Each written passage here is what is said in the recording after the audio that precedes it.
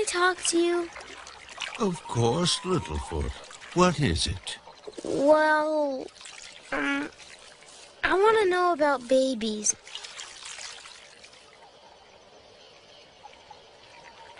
Littlefoot, you're too young to worry about babies. Well, it's, um, it's just that I'm curious. All right.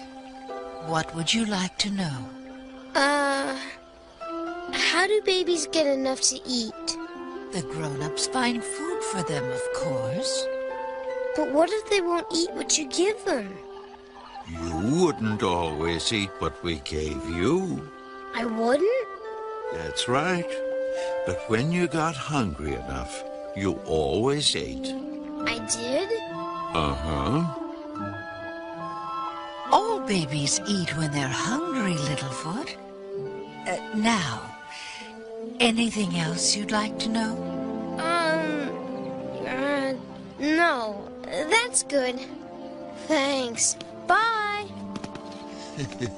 Kids, they want to grow up so fast. Yes.